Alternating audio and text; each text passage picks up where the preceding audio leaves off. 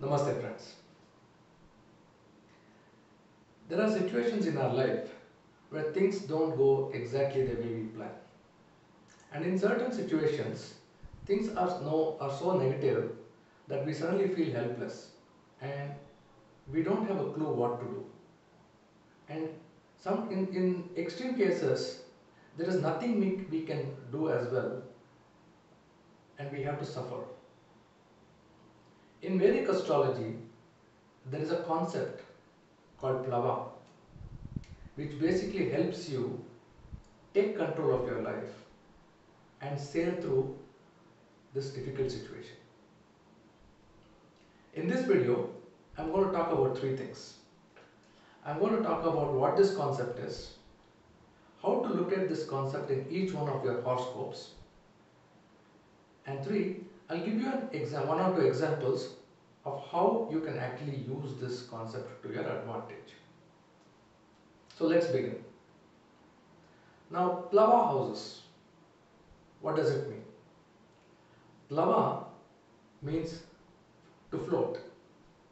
When things are going bad, when you're sinking, the plava houses help you float and not sink.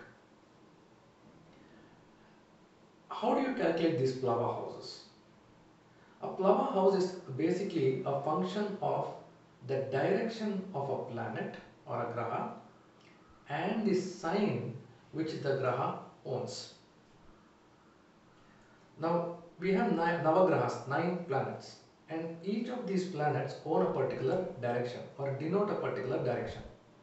For example, Sun denotes east, Saturn denotes west. When we look at north, it is Mercury, and when we look at south, it is Mars. And then there are the four angular directions. Northeast is deno- Jupiter denotes northeast. Sometimes Ketu also is deno- denotes northeast. Southeast is Venus. Southwest is Rahu, and northwest is Moon. Now, when certain houses get owned by these planets in accordance to their direction, the houses become plava houses. Now, what does it mean in your respective horoscope? Now, in each one of your horoscope, take a look at your lagna or the ascendant. We are not looking at the moon sign or the rashi, or we are not, not even looking at the sun sign. We are only looking at the ascendant. For various ascendants, I am going to give you the plava houses. For Aries, it is the second house and the 12th house. For Taurus, it is the 11th house. For Gemini, unfortunately, there are no plava houses. For Cancer, it is the 7th house. For Leo, there are four houses 1, 3, 4, and 7. For Virgo, it is the second house and the 10th house.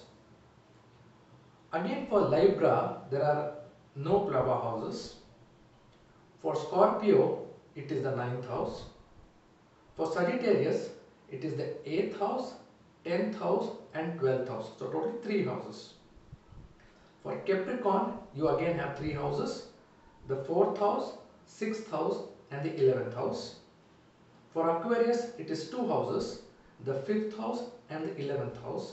And for Pisces, it's just one house, which is the third house. Now, Gemini and Libra do not have plava houses, and because they do not have plava houses, that needs to be handled quite differently. Now, having understood what these plava houses are, let's look at how you can make use of these plava houses. Let me take an example. Let's assume that you are Scorpio ascendant. Now, what did I tell for Scorpio ascendant? The ninth house is the plava house. So, for Scorpio, Cancer becomes the plava house. Now, what does ninth house uh, signify?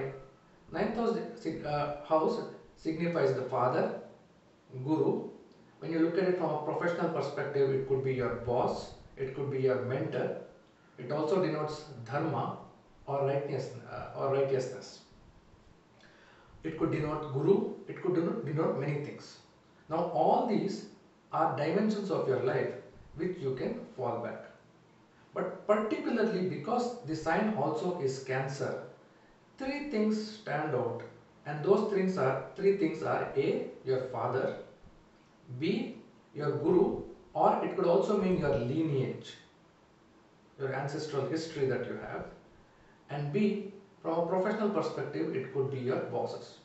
So when things go bad, the best is to fall back on these three dimensions of your life and ask for their help and they'll help you stay afloat. Take another example. Let's take say Taurus.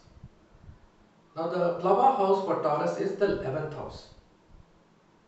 So 11th would mean Pisces.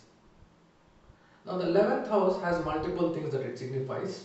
Among the various things, it signifies older brother, it signifies any profit margin that you have, any gains that you have made, it signifies uh, uh, ornaments, it signifies your social life, it signifies the fan following that you have, people who are uh, who look up to you. It also signifies your investments. Now particularly for Taurus, 11th house is Pisces and because it's Pisces, again three things emerge. Uh, uh, there are top three things that you can fall back on. The top three things are one, your own fan following that you have, the public fan following that you have, that is people who look up to you, they will come in handy when in terms of uncertainties, number one. Number two is your overall social life.